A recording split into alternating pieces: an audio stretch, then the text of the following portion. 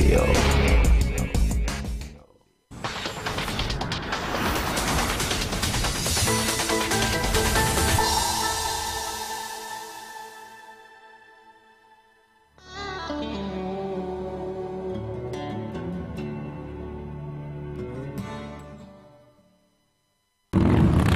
Na čem to ujíždíš? No přece na Ečkách. E-mostecko.cz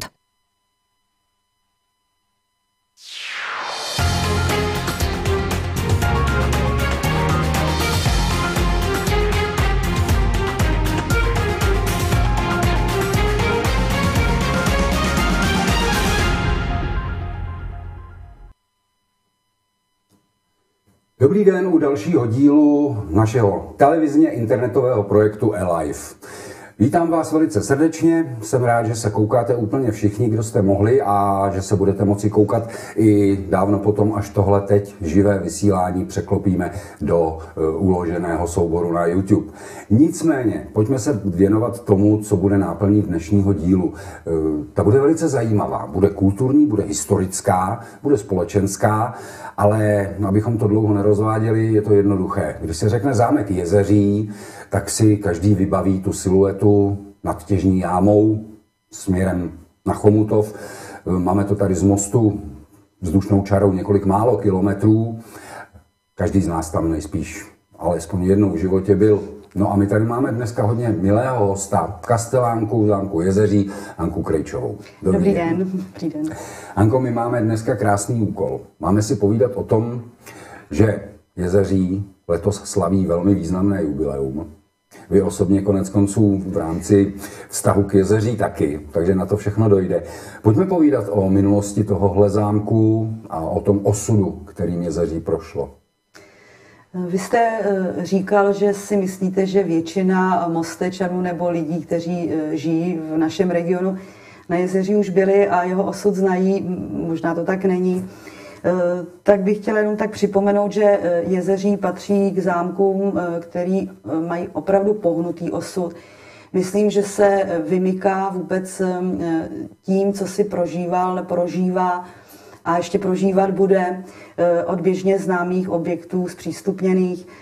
Jezeří už nemělo existovat, mělo zmizet z povrchu světa, zmizelo dokonce z dobových map, autoatlasů, Eh, nesmělo se o jezeří psát, zažívalo se ale dobu své slávy, kdy bylo na vrcholu v Lesku, kdy jezeří bylo eh, místem, kam přijížděla i rakouská císařovna, arcivévodové, knížecí eh, rody, protože to bylo vyloženě reprezentativní místo rodu Lobkoviců.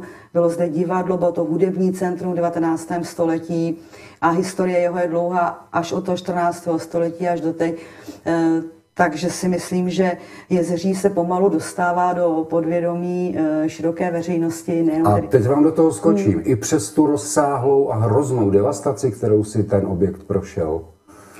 Eh, je to možná také tím, že to lidi také přitahuje.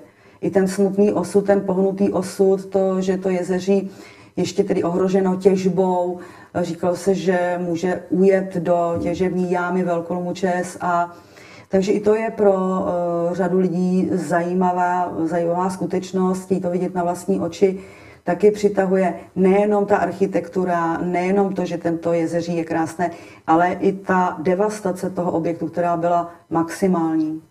Čím vším si vlastně prošlo to jezeří? Kdo, kdo se na tom tak strašně podepsal? Já jsem tam byl a každý, kdo tam byl, si musel určitě všimnout toho, že, že ten objekt opravdu dostal hodně zabrat. Já takto začínám prohlídky, když dělám kastelánské prohlídky, že asi e, zarazí návštěvníka, že ten zámek nevypadá, jak by měl, na to, co, co jsou zvyklí. Ono je těžké popsat úplně vyníka, no hlavní vyník bylo rozhodnutí vůbec toho o regionu, že bude tou zásobárnou, že bude to, to srdce vlastně průmyslové naší republiky. Eh, je to spojeno s těžbou uhlí, to, to bez zesporu, ale také s obdobím minulého režimu, eh, vůbec odklonu vlastně od hodnot kulturních, které, které prezentovala šlechta, které představovala ta šlechta, takže hledat vyníka je to hlavně ten eh, sklus veliký, ten osud eh, devastace začal až po druhé světové válce, v podstatě v 50. letech, kdy jezeří mm, bylo Lobkovicům znárodněno a přišla tam armáda, čes, česká, československá armáda, ale tam ještě ta devastace nebyla tak plošná, protože přestože zámek byl plně do té doby vybaven, všechny místnosti komplet s mobiliářem, tak došlo k přesunutí mobiliářů na jiné objekty. Vojsko samozřejmě si upravilo některé ty místnosti, ale pořád mělo střechu, okna a jako budova jako taková devastovaná nebyla. Ten zlom přišel až později, když odešla armáda, kdy se o jezeří začalo uvažovat tak, že bylo opuštěné a s tím, že tedy pomalu eh, s chátráním dojde k tomu, že nakonec to jezeří spadne celé. A nejhor, nejhorší, ano, bude tam oprávněná demolice, ono to je trošku paralela, tady to na vaší hmm. televizi říct můžu, se starým mostem. Tam se také k tomu tak přistupovalo, že eh, obyvatele byli přesvědčeni, že vlastně to, je to pro jejich dobro, že se odstěhou z tak krásného města, protože bylo tak špatný. Ale já odbočuju. Eh, takže to, byla, to, byla, to byl ten zlom, vlastně, kdy, eh, kdy to jezeří začalo chátrat, ale tím, že tam hlídali jeden, dva lidé a znáte ruku, nenechavou ruku, takže jezeří bylo rozebráno vandaly a byly, byla vytločena okna a tam došlo právě k té velké devastaci tím, že tam začalo zatékat, že tím, jak se ty otvory okení rozbily, vykradlo se, co se mohlo. Takže když se mi lidi ptají, jaká armáda, jaká národnost, kdo, jestli Němci, Poláci, Marťani, ne, opravdu naši, musím to říct takhle, naši, naši lidé postupně jsme si to jezeří takhle jako zdevastovali. Každopádně zámek Jezeří v téhle chvíli už vypadá zase úplně jinak a nejde to asi tak rychle, jak by, se, jak by si všichni přáli. Nicméně, pojďme se bavit o tom, co jsem avizoval, tedy o jubileu. O jubileu. Jaké máme jubileum? Jaké slaví? Vy mi dobře nahráváte, no. tak, protože e, s píchou mohu říct, že 20. výročí zpřístupnění zámku Jezeří v podstatě historicky poprvé pominuli, pominuli nějaké období, kdy Loubkovicové jako šlechta, která tam byla, tak eh, zámek měli mm, o víkendech nějakou část přístupněnou. Ale historicky eh, jsem přišla na jezeří právě 1. května roku 1996, takže 20 let se snažím to znovu skříšení, proto ten název Fénix z popela, protože on tomu málo kdo věřil v tom 96 že na jezeří bude, dejme tomu, že budeme mít tolik návštěvníků, kolik máme. K tomu se dostaneme. K tomu ne, se dostaneme. Já nechci předbíhat, to ale jako, že to řekla asi tak, jak se Destinové říkalo, když byla v Národním divadle, když, když dělá konkurs, ať si dává ty obklady. Tak to mi říkali taky, když jsem začala mluvit v 96. o tom, co všechno na jezeří bude. Ale to nutno si říct, že jezeří už je stabilizované, už máme nové střechy a postupně se dává dohromady. Eh, já jsem naznačil, že samozřejmě mm, by se mohlo zdát, že ta obnova objektu pokračuje strašně pomalu. A vy jste mi vysvětlovala, že to je právě tím, že to není malý objekt. Takže jak to je? Eh, já často se setkávám s názory návštěvníků. Oni mm, čekají tu fasádu, to je hlavně to je ten bombónek potom ale Jezeří opravdu není malinký lovecký zámeček, jak se prezentovalo, nebo se může zdát z pohledu od koridoru proti masivu Krušný hor. Eh, Jezeří patří k největším objektům Čechách s tím počtem 240 místností, malý, velký a devíti výškových úrovní, mnohdy tam, kde jsou věže od suterénu. Mí kolegové kasteláni si dělají eh, legraci, že takové tři, čtyři v jednom běžných těch zámků. Tak proto Vzhledem k tomu, že ta devastace byla úplně, opravdu rozsáhlá, skoro totální, kdy už to bylo za 5 minut 12, když začaly propadat stropy, takže vzhledem k té míře devastace a vzhledem k velikosti, rozsáhlosti toho objektu, to jde pomalu. Jasně, ale jde to a to je to důležité. Ano, hlavně eh, já si myslím, že není kam spěchat, že jo. Od toho 14. století to jezeří přežilo kde co tak jestli nějakých 20 let historie zámku, to je mžiknutí oka, to je pro nás jenom taková, taková to jubileum. Jinak ono možná je lepší dělat pomalu, pořádně tak, aby se tom, té památce nevzala takzvaná ta autenticita hmm. a to, co tu památku dělá památkou. Mnohé rekonstrukce, které třeba jsem viděla, Zámek sice vypadá hezky, ale už to nemá nic společného opravdu s tím šlechtickým sídlem, s jasně, historickým jasně. šlechtickým sídlem. Na druhou stranu, dneska se dá úplně klidně mluvit o tom, že jezeří je vlastně něco jako takový symbol. Symbol, který žije svým vlastním životem, že to je symbol toho, že se dá přežít i v tomhle těžkém, v téhle těžké a složité lokalitě, kde nepřežila strašná spousta jiných lokalit, obcí, objektů, ale Jezeří pořád žije a právě proto je tím symbolem. A e, mě by zajímala jedna věc, jak jste na tom s návštěvností vlastně? Vy jste zámek jako každý jiný, sice jste teda trošku bez na oken, kopci, bez ano, oken, bez, dobře, bez oken ale úplně na kopci a ne, není tam dojezdová, e, dojezdová možnost, abych jaksi přijel před Cimbuří, nebo není to zase tak nahráváte, že? Ne, to no jasně, ale chlubení. mě zajímá, mě zajímá ta, ta No, tak návštěvnost. zase se budu chlubit, protože jak jste eh, správně uvedl, že ta dostupnost je velice komplikovaná, protože díky eh, likvidaci Albrechtic a obce Jezeří eh, spojený s eh, těžbou uhlí, tak první obyvatelstvo my máme v Černicích, že to je součást města Horní Jiřitín a řádově to jsou to tři kilometry od eh, Jezeří, takže to zázemí tam chybí a není tam ani nějaká doprava, že by vás dovezla přímo pod ten kopec. Takže eh, všechno se musí po vlastní ose a pěšky Po nebo takhle nohou, a po po vlastní nohou potom nahoru, protože jsme tady nahoře, byl to hrad, takže nahoře, i když na Karlštejnce taky musí tři kilometry pěšky, nebo si zaplatit drahý povoz, že co si budeme povídat. Ale ta návštěvnost eh, právě proto mě překvapuje, že ve srovnání s objekty, které jsou v našem regionu i v, městský, v městské zástavbě nebo snadno dostupné, tak naše návštěvnost je velice slušná. Tím bych chtěla poděkovat všem, kteří nás eh, tady navštěvují i pravidelně, několikrát. Je přes 20 tisíc eh, za tu sezónu. A to je platící, protýkám, platících návštěvníků, to znamená, že projdou opravdu zámkem. Jinak máme vysledováno, že v okolí na zahradě, že to je ještě zhruba tak jednou tolik.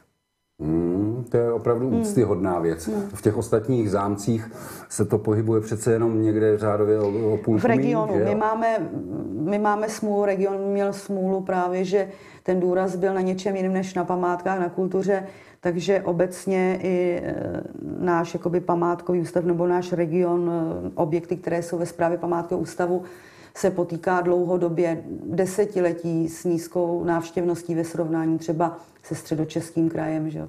nebo již, jižní Čechy to vůbec.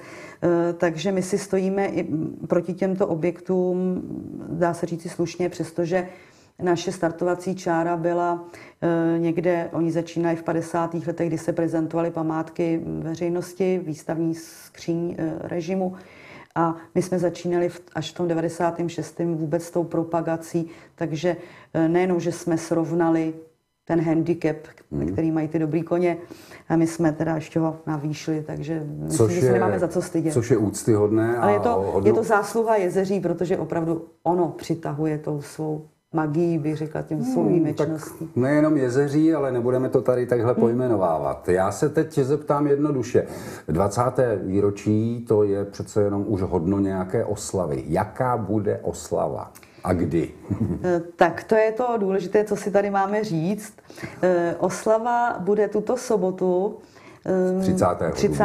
30. dubna, avizované na plakátech všude od eh, 18 hodin, ale znamená to, že zámek eh, budeme otvírat v 18 hodin eh, objekt, protože my do pěti máme normální prohlídky, tak od těch 18 hodin postupně mohou přicházet návštěvníci na vnitřní nádvoří a východní nádvoří zámku, eh, kde jsme se dohodli, že když s týmem pracovním, když je to 20. výročí, takže to uděláme něco, co tady ještě nebylo, tak jsme se pak domluvili na videoprojekci. Já nevím, jestli mm, vidí, na, lidé znají videomapping, nebo určitě viděli třeba z Plzně, když byla Plzeň městem kultury. Je to promítání na fasádu, tak my jsme se rozhodli, že tedy promítneme v kostce historii eh, zámku i hradu Jezeří právě na té fasádě. A to bude ta třešnička na dortu po deváté hodině, až se setmí, protože dřív by to nemělo smysl. Jinak od té šesté hodiny bude možnost se podívat do třetího okruhu bez průvodce, kde budou instalovány fotografie, výstřižky eh, z tisku od toho 96. roku, jak probíhaly opravy jezeří, jak se jezeří mění, jaké byly kulturní akce. Eh, Po sedmé hodině v sedm hodin je tam plánovaný koncert děčínské kapely, doufám, že to říkám dobře, Karpatia Castle. A pak ještě eh, předtančení našich tanečnic města Horního Jiřetína. To, abych nezapomněla, on je hlavní sponzor této akce. Velice nás město Horní Jiřetín podporuje ve všech aktivitách. A nakonec po skončení toho videomappingu nebo té projekce, tak ještě zámek bude nasvícen na zřejmě hodinu. Barevně bude měnit barvy, ta fasáda bude nasvícená. Takže si myslím, že ten zážitek bude jedinečný. Je škoda, že to opravdu trvá takovou krátkou dobu, eh, ta věc jako taková, ale eh, myslím si, že to bude stát za to, že ten zážitek bude jedinečný. No, Já se na to, to moc těším. Zní to fantasticky a je to opravdu asi, asi báječně vymyšlené, ale to, to jste vymyslela vy, že jo?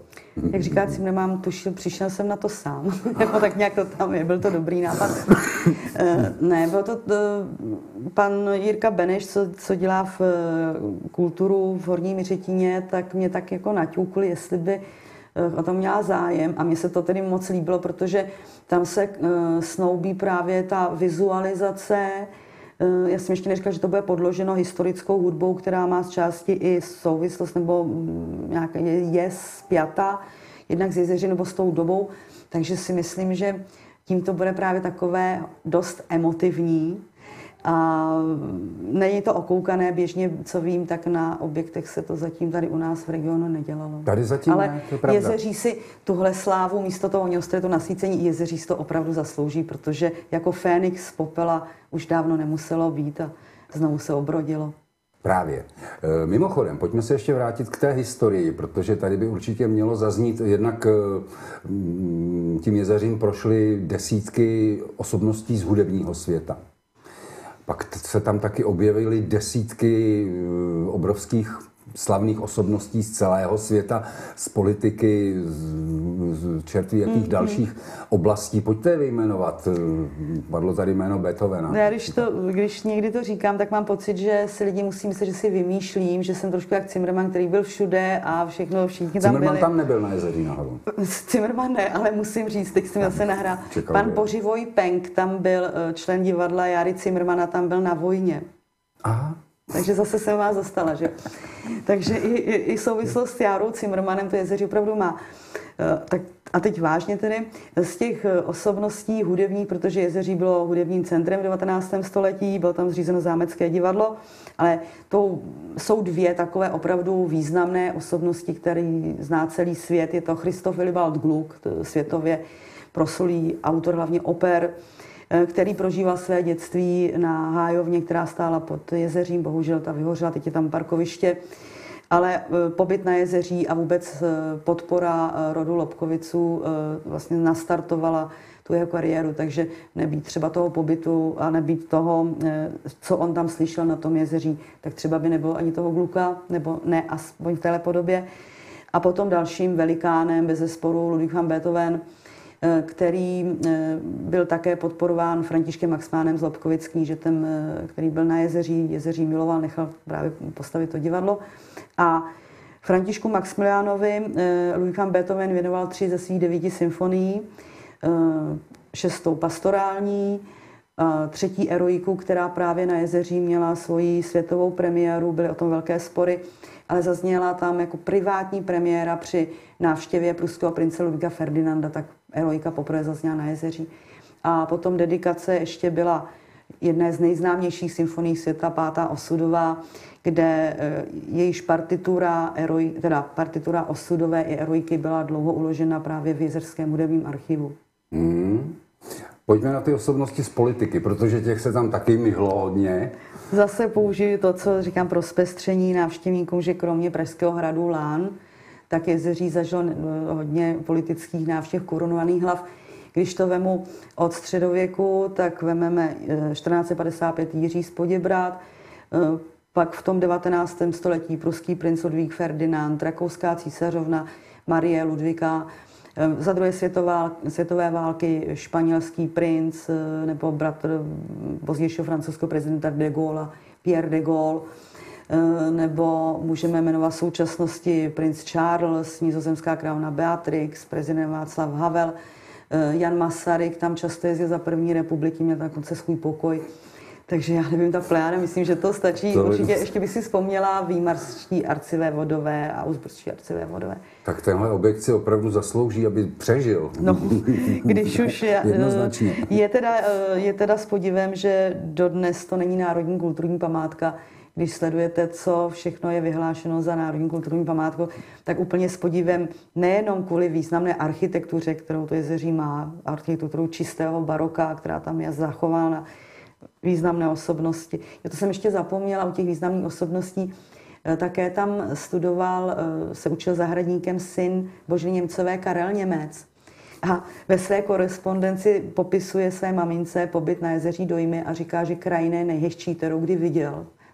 Takže to máme. Dneska by se asi divil. A ještě z těch zajímavých dolů. lidí, co ještě musím, a to už mi taky nebudete věřit, eh, Karel Hinek Mácha ve svých hradech spatřených, hrady většinou si kreslil ty zříceniny, on netušil, kam to dojde, ale v jeho černém sešitě je skica zámku Jezeří ze zámeckého parku, takže i Karel Hinek Mácha viděl Jezeří a uh, Goethe, že samozřejmě tady ty lidi všichni, jako ty, co jezdili běžně, takže i takovýhle lidi. Takže já ani nevím, kolik eh, bych jsem ještě... Tak kolik, nedá byl... se to je výčet takový, že bychom tady trávili. Pravdě, historický exkurs velmi zajímavý a už jenom tahle zajímavost vás může přimět k tomu, pokud jste na jezeří ještě nikdy nebyli, jakože tomu moc nevěřím, tak abyste se tam zajeli podívat a pokud jste tam byli, ale už je to dávno, tak opět nic než doporučení, abyste se tam zase podívali, tak nic jiného nezbývá.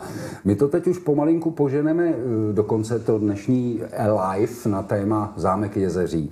Anko, povídejte, co vlastně, nebo ještě mě napadá jedno takové rychlé, eh, fenomén strašidla. Ano, když to řeknete, já jsem, my jsme se o tom bavili tady před začátkem vysílání. Eh, oživla strašidla na jezeří, copyright v zámku jezeří, značka, já si myslím, eh, značka, ochranná značka. Um, začalo to jako nevinná akce tím, že do těch sklepů se neměla co dát, takže jsem udělala pár figurín, pár lidí jsem oblíkla, včetně pak mého dítěte, který tam dvouletý strašil z kostí. V té době přišlo 600 lidí, teda už je to taky těch 20 let skoro, 600 lidí na oživlá strašidla. Každým rokem děláme eh, na závěr sezóny oživlá strašidla. Ono to vychází už i Halloween dušičky, takže jak si kdo vybere. A letošní, teda loňský rok byl eh, enormně navštěvovaný, to byly, myslím, okolo sedmi tisíc, teď nevím přesně, za dva dny návštěvnost. Eh, ta akce je vyhlášená, my rozšiřujeme i okruh, protože zámek je zatemněný, části tam okolo 40 živých opravdu herců strašidel. Takže si myslím, že to je akce, která je známá už po celé republice. Už teď se lidi ptají, jestli zase budou oživlá strašidla. Takže to je opravdu fenomén zámku Jezeří. Jinak těch akcí je samozřejmě víc. Na to jsem se chtěl zeptat, co všechno se chystá, protože eh, Jezeří je proslaveno třeba hudebním létem. Ano, díky eh, paní Aleně Henigové, která je to významná čembalistka, pianistka a hudební vědkyně, objava Jezeří a letos bude, myslím, už pátý ročník, myslím, že pátý ročník hudební léto v Jezeří, je to celý srpen.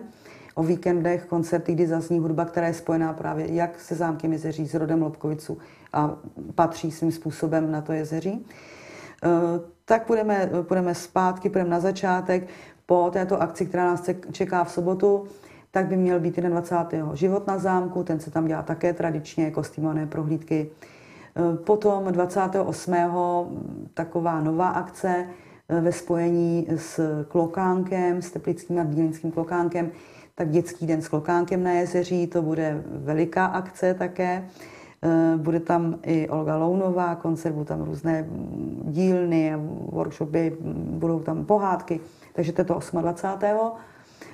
Uh, Mluvíme o květnu. Květnu, ano, tak, květnu. Tak, tak, tak pojďme po pořadě dál. Uh, pak by, a teď mi vypadlo úplně datum, letos plánujeme poprvé v rámci akce, která je také celoplošná noc kostelů, tak plánujeme, ono to vychází na pátek letos, ale my v sobotu plánujeme námecké kabely, která není ještě úplně opravená, ale už se dá využívat Eh, má zvláštní atmosféru, tak plánujeme koncert eh, s mým kolegou Radkem Turčánem, který na Varhany zpívá.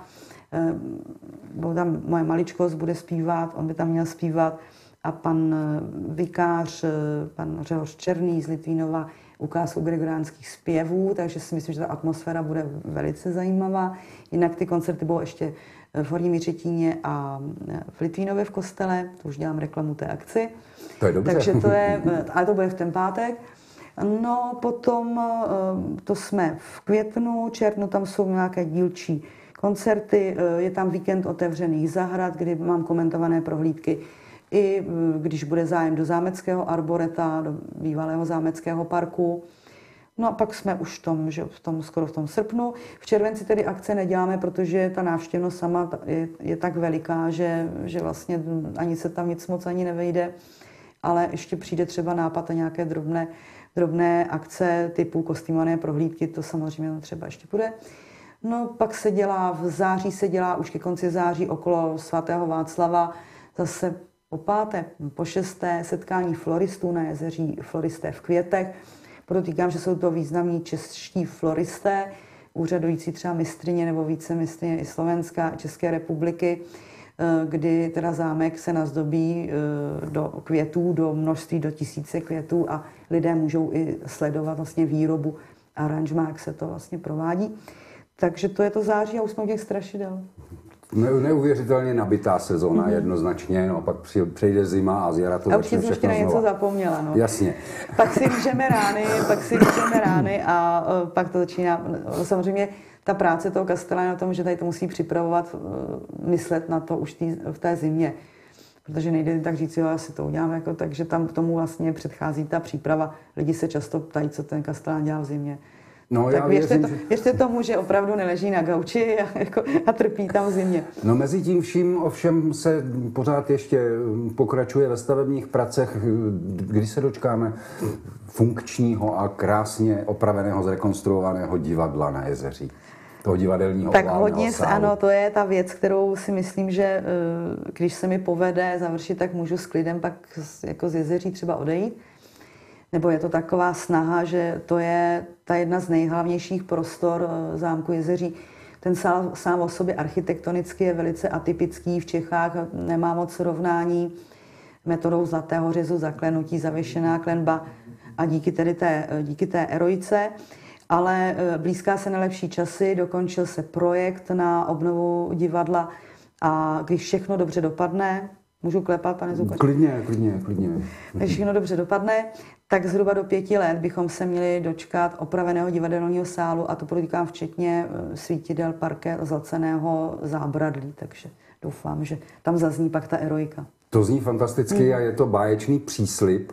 Nicméně, proč čekat pět let, když se na jezeří můžete přijít podívat už teď, nebo doporučujeme v sobotu na tu velkou oslavu 20-letého výročí znovu, znovu zpřístupnění tohohle zámku a myslíme na to, že to je jedna z mála vzácných a zachovaných architektonických památek, které na severu Čech máme, zvláště v té naší lokalitě Mostecka.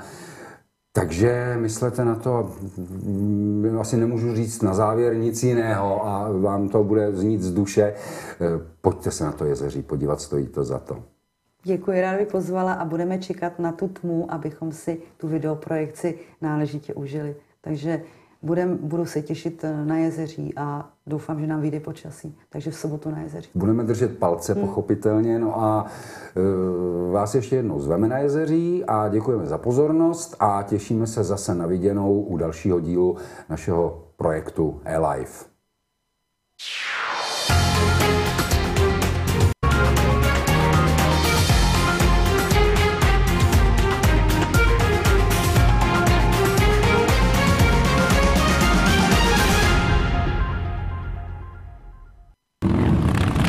Čem to ujíždíš? No přece na Ečkách. e-mostecko.cz